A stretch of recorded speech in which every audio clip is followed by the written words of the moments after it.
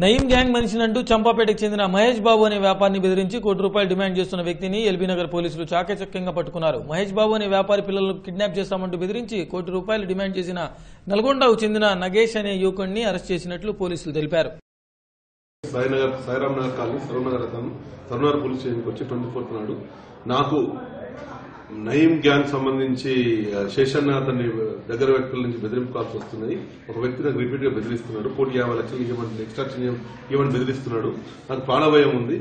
నాకు హెల్ప్ చేయమంటే immediate case register చేసుకుని ఏసీపీ పృథ్వీ పృథ్వీధర పర్యవేక్షణలో ఒక రెండు టీంలు ఒక SO team and Sarvanarayana DI Mahesh మన వాళ్ళు పర్- మన సర్వనారాయణ డిఐ పర్యవేక్షణలో రెండు టీములు ఒక ఫోర్ టీమ్ ఫామ్ చేసి ప్రతి ఆస్పెక్ట్ ట్రాక్ చేయడం జరిగింది. జరిగి ప్రతి షార్ట్ పీరియడ్లో నాగేష్ అనే అతను అఫెండర్ పట్టుకోవడం జరిగింది. ఈ నాగేష్ అనేవాడు ఇతను- క్యాబ్ డ్రైవరు ప్రీవియస్లీ ఇతను సరునార్లో ఒక కిడ్నాపింగ్ కేసులో కూడా జైలుకు పోయి వచ్చిండు.